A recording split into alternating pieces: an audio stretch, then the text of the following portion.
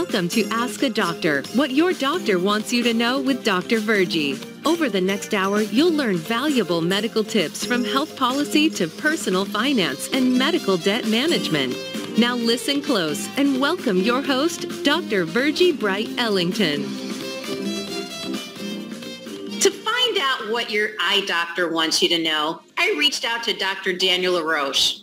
Dr. LaRoche is the Director of Glaucoma Services and President of Advanced Eye Care of New York and Assistant Professor of Ophthalmology at Mount Sinai School of Medicine and New York Eye and Ear Infirmary. Dr. LaRoche has performed thousands of glaucoma surgeries and helped many young surgeons become experts in the latest in medical laser and surgical treatment of glaucoma. He's also been voted one of the top doctors in New York and the United States several years in a row. Dr. LaRoche is an undergraduate alumni of New York University, earned his medical doctorate with honors in research from Cornell University Medical College and completed his residency at Howard University in Washington, D.C. and his glaucoma fellowship at the New York Eye and Ear Infirmary. Dr. LaRoche has volunteered on several medical missions to Haiti and throughout the Caribbean. As a result of his dedication to community service, Dr. LaRoche has received numerous awards, including from the City Council of New York for outstanding contributions to New York City and from the United Black Men of Queens, New York for outstanding leadership.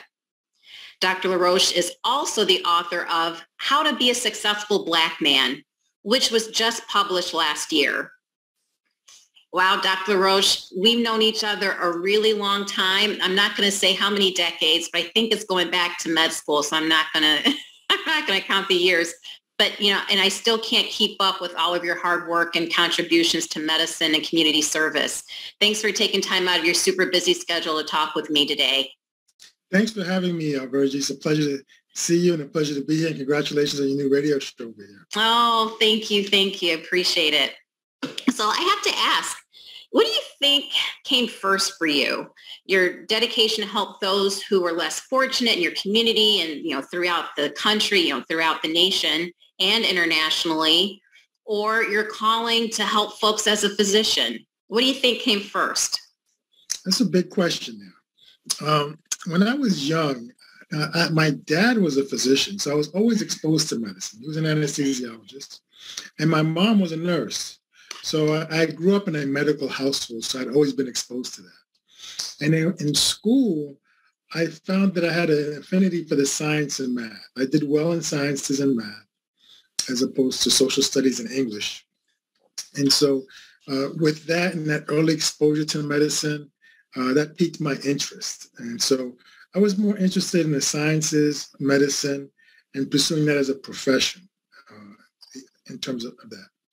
Then as I was doing medicine, and uh, I learned about various disparities that took place in medicine, and, uh, mm.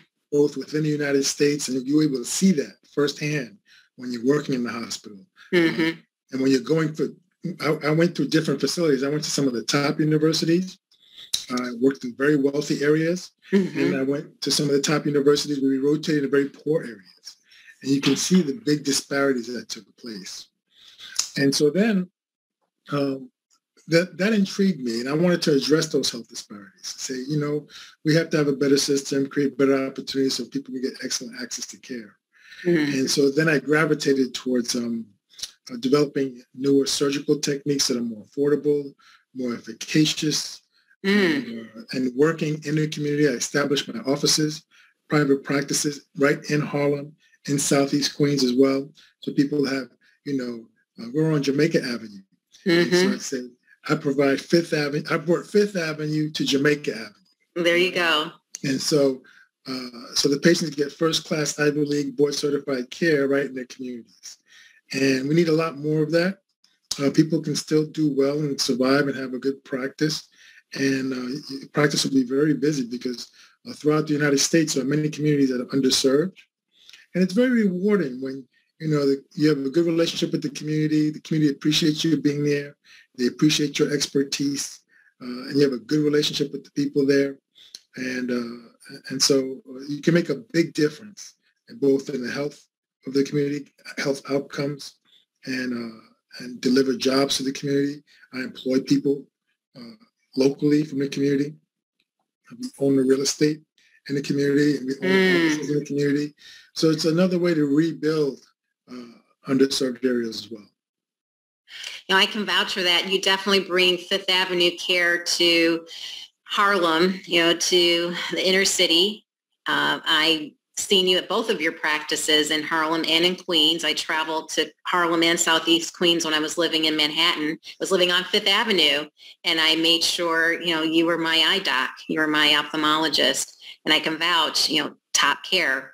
And the only reason why I don't travel in, I, you know, moved out of the city. The only reason why I don't travel in to see you now, although that was my original plan, is just, you know, time gets away from you. You think, okay, all right, it'll take me four hours to get there and back. That's half the day. But I seriously thought about it, Dr. LaRoche. You know that you're my doc. So um, I still consider you my doc, even though it's, it's been some time since I left Manhattan.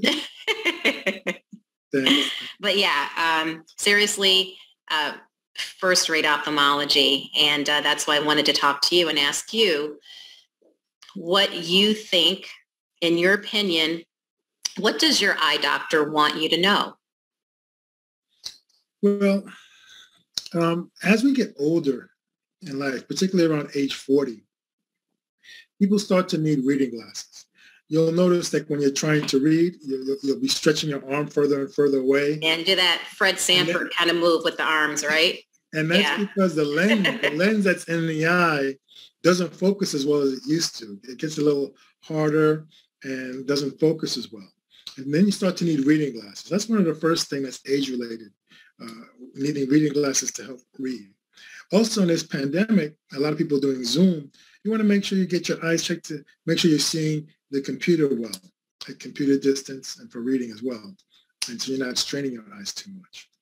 Uh, there's a 20-20-20 rule where when you're looking at the computer screen, every uh, 20 minutes, you want to look at something 20 feet away for 20 seconds. Mm. 20, 20, so that helps your eyes to relax a little bit, not just get focused and uh, strained from looking at the computer for several hours in a row. We want to take a break from looking at the computer. So that's something that's a nice little pro for this pandemic. But then the other thing is with age, the lens in the eye gets a little bit larger in some people. And when it gets larger in some people, it can cause the eye pressure to go up. Mm. If you touch your eye, eye pressure is normally about 15. But when the eye pressure goes up to about 18 or higher, that can start to lead to damage to the nerve in the back of the eye. The optic nerve is the nerve that connects the eye to the brain, called cupping. Okay. And that can cause damage and loss of peripheral vision slowly but surely, and you don't notice it. Hmm. And that's what glaucoma is. Okay. Okay, glaucoma is when you have this loss of peripheral vision due to damage of the optic nerve, usually associated with elevated eye pressure. That starts to begin around people around 40, 50 years of age. Are there certain ethnic groups that have uh, a higher propensity to have to develop high eye pressures, to develop glaucoma than others? Yes. Um, the elderly, the older you are, the, the line goes up with age. The older okay. you are. That's one. Two, um, African Americans, Asians, Latinos, people with brown irises. Okay. Than light irises. Okay. And the reason for that is because when the lens gets larger, it rubs up against the iris and releases pigment that can block the drain. Wow. And the lens gets okay. larger, it can narrow the drain. And those are different. The requirement uh, for a publicly traded company was to be a good corporate citizen. So to make sure that they provided tax base, you know, enough of a tax base to the community for great schools and infrastructure and roads and things like that. As of 1972-ish, again, I believe, uh, the federal law changed such that the number one uh, uh, role of a publicly traded company is to return profits to their shareholders. So you have insurance companies, which are the foundation of the healthcare, United States healthcare system. And every year they have to return profits to their shareholders right? Not just every year. It's like you mentioned, short term, quarterly. And they have to, year after year, quarter after quarter, they have to show an increase in profits and deliver that to shareholders. Well, to your point, long-term outcomes are not going to be in, in their interest. So yes, there is nothing that is going to prevent them, prevent them, meaning the insurance, them, the insurance companies from returning a profit to their shareholders. And not only not preventing them by law, they have to. It's illegal for them not to. So it's not going to get better until we educate the American public, the American patient, and the providers who are stuck trying to figure out how to uh, protect themselves from making sure that the um, insurance companies take profits from their services, from, from their work, from your work. So it, it's an educational um, issue in terms of, you know, health disparities and eye care and health disparities uh, uh, in the United States, period, uh, is, is a result of, a publicly traded, meaning for-profit by law, uh, healthcare system. And you know, you, you explained that very well. Thank you for that. And I want to show, give you an example of how that affects us as doctors. Um, there's a health insurance company. I won't say any names for right now. Please don't say names. I won't say names. but it, but, it applies to them all. they, they, they have start cutting back paying me for care I've provided. I've provided the care. We send a claim in. They said, oh, we want to see the copy of the medical record. We send the medical record in. They said, oh, this this is insufficient, so we're not paying you at all. I've done a surgery. We send a claim in. Oh, the documentation is insufficient. We're not going to pay for the surgery. Or it's not indicated. We're not going to pay for the surgery. I'm like, well, well, what was not indicated? What was wrong? They won't say anything and they won't pay for it. So I had to immediately stop taking this insurance. Yes. I can't continue yeah. to provide care and not get paid. That's right. Now I called one of my colleagues up, who's a specialist in children. And I asked her, I said, have you been having this problem with this insurance company? And she said, yes. I stopped taking it 10 years ago. Wow. And I said, let me ask you a question. If you're not taking this insurance, because it's a pretty big insurance in the New York area, well, where are your patients going? Because you're the only specialist in this Brooklyn area that can take care of these kids. You're the specialist. Where are the kids going? And you know what she said? The kids are not getting care. Yes. Okay? There you go. And that's what I'm afraid is actually going to happen with some of my patients because now that I'm not taking that insurance, they'll have no place else to go in the community because I'm like the only one that's there. Exactly. So I was very upset about this because I felt the insurance company was morally wrong and this may be criminally wrong. And I've actually sent a letter to the Attorney General about this, describing my experience mm-hmm. and ask her to investigate. Now, whether that's going to come, and I did that today, as a matter of fact. Mm, excellent. And, so, and, because you know what? It, it, it's criminal. What some of these insurance companies are doing is really immoral and criminal because they don't have the patient's interest at heart, at the best interest at heart. So like that's an important point. That's an important. Uh, say that again, Dr. LaRoche. Yeah, they don't have the what's best for the patient at heart. Right, and they've got to return short-term profits. That's their number one by law. That's they that's governing their decisions, the profits. So, right now, they're attacking the doctors right now because I'm not alone. I had four of the doctors call me about this same insurance. Yes. Four four other eye specialists call me, say, "Hey, look, this is what they're doing to me. This is what they're doing to me. What are you doing about it?" And and they're contacting a lawyer to deal with this. And that's what some of us doctors have to deal with on the back end that the patients don't see.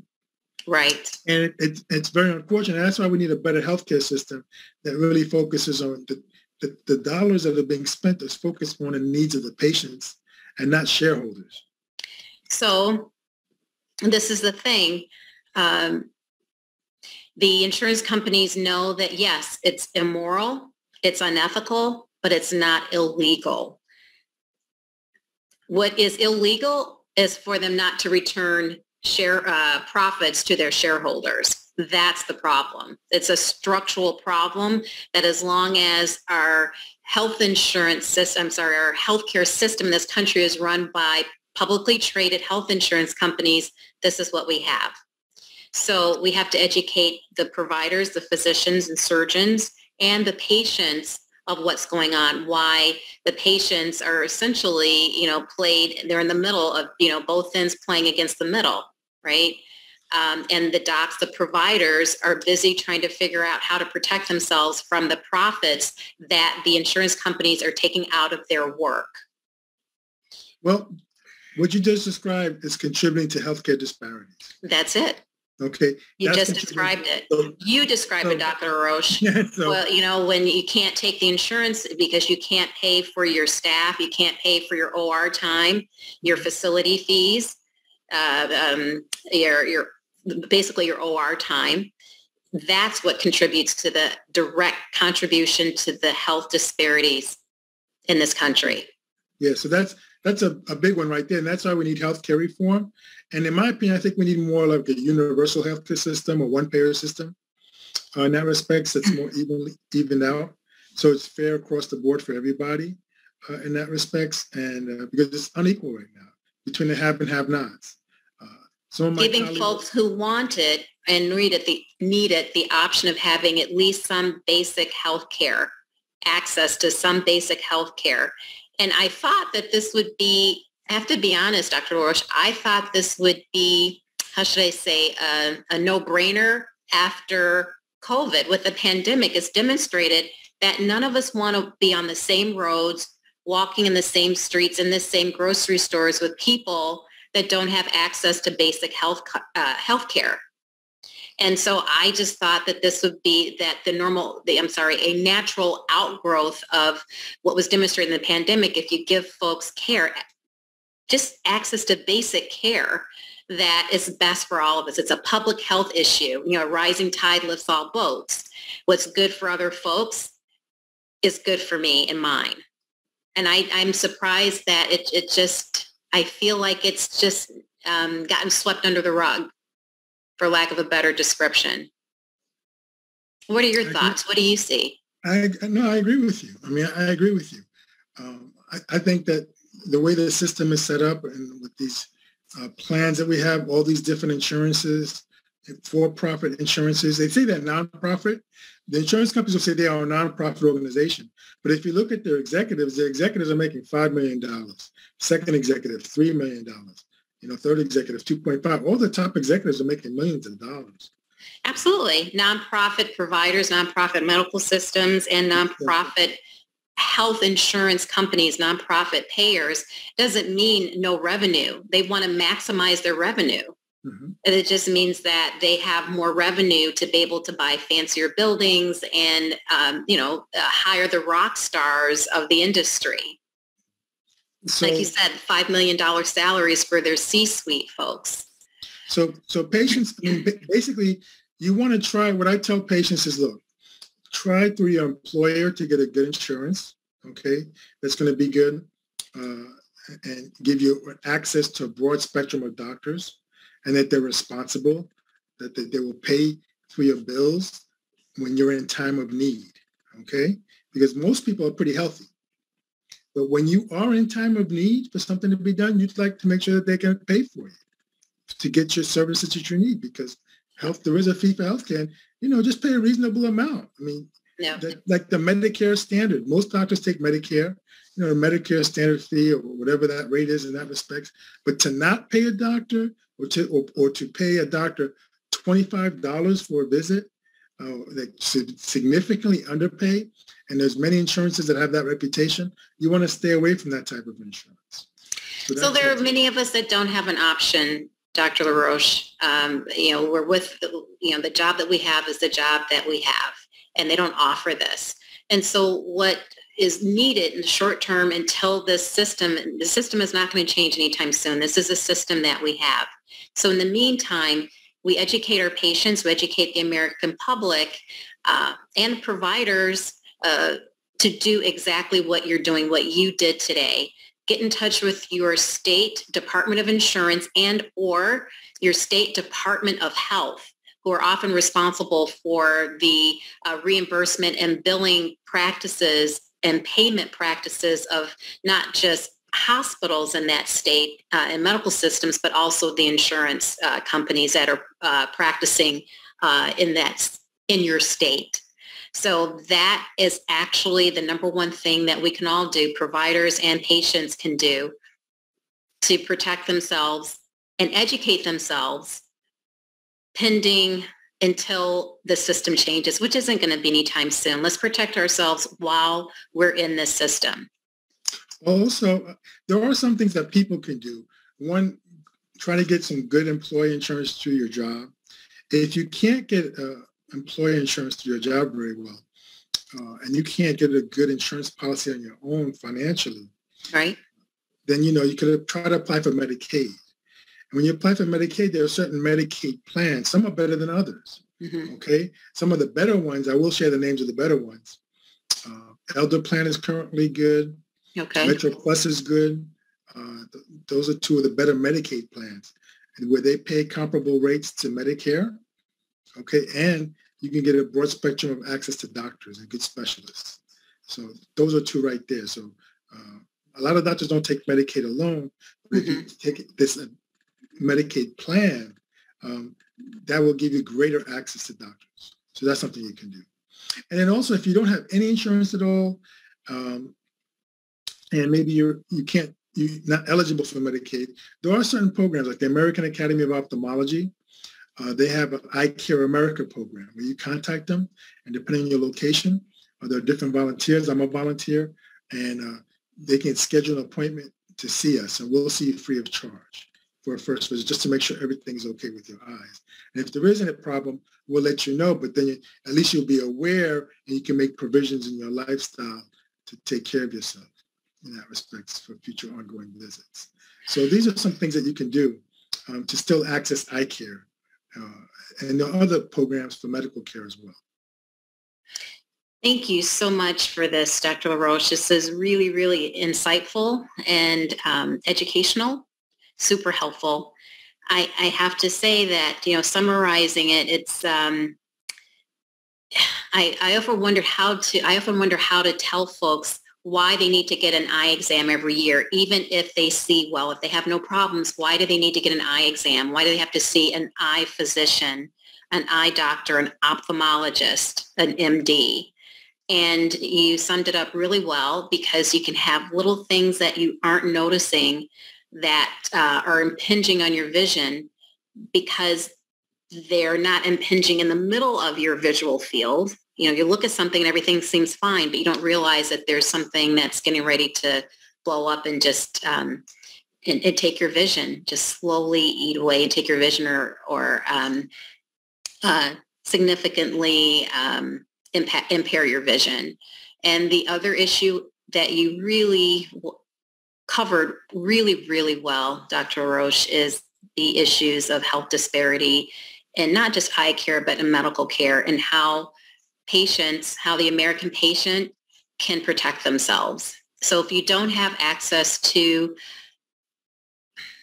good insurance, what people call good insurance, meaning access to good physicians, good surgeons, good specialists, if you don't have, if you make too much uh, to uh, qualify for Medicaid, that there may be some um, uh, options in terms of making sure that you have coverage. And again, I always remind folks, and not just patients, but also providers, if you have issues with coverage, if you think something should have been paid, if doctors thinks that their claim should have been paid and, and was not, if patients thinks that their uh, care should have been covered and was not, uh, or they get a bill that doesn't seem uh, fair, reach out to your State Department of Health and or your State Department of Insurance. So thank you so much for going over these issues, Dr. LaRoche. Much, much appreciated. Thanks for spending the time. Thank you. Thank Good you stuff. Good stuff.